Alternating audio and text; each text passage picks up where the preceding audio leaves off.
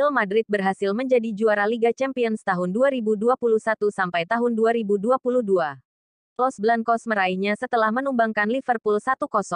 Liverpool vs Real Madrid tersaji di Stade de France. Minggu tanggal 29 Mei tahun 2022, dini hari WIB. Si Merah bermain sangat dominan di babak pertama dengan banyak menekan Los Blancos. Alih-alih mencetak gol, Liverpool malah nyaris tertinggal sebelum turun minum. Karim Benzema mampu merobek gawang Liverpool. Namun gol itu dianulir karena berbau offside. Babak kedua menjadi milik Real Madrid. Anak asuh Carlo Ancelotti mampu mengambil momen dan memimpin 1-0 lewat Vinicius Junior di menit ke-59. Gol itu membuat duel berjalan makin seru.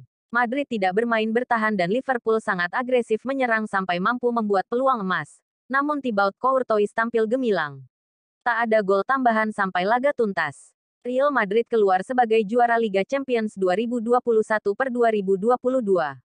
Ini menjadi gelar Liga Champions yang ke-14 bagi Real Madrid.